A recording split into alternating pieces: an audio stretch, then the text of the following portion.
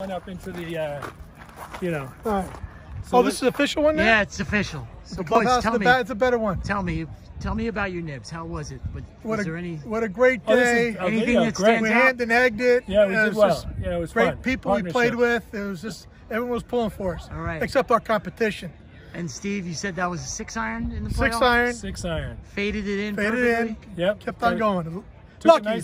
Nice- That's the first time I hit the green all year, by the way. I was left or the right, but Now I remember you were in the playoff. What, like two years ago? With two Chris? years ago with my son that. Chris, and we lost uh, on the extra hole. We were the last group up. Yep. But I you know, it was Yeah. a tough loss, but it was congratulations to those winners, and you never know. Congrats, guys. Thank you, Mike. Thank you.